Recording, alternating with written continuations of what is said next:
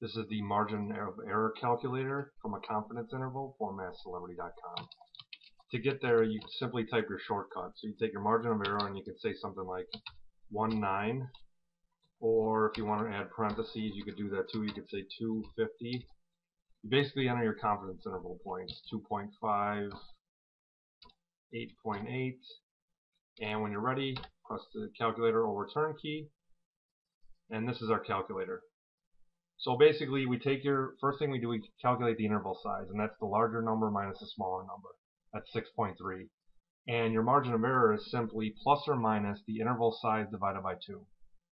So we've got 6.3 for our interval size divided by 2 is 3.15.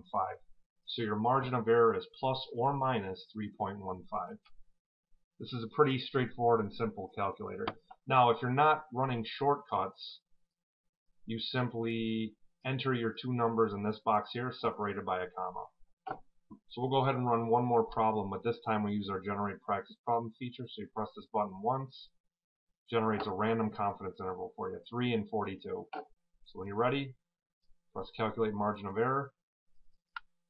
Again, calculate our interval size, 39, divided by 2, and it's plus or minus that value. So that's it. If you have any questions or enhancement suggestions, please use the contact us link. Thanks for watching.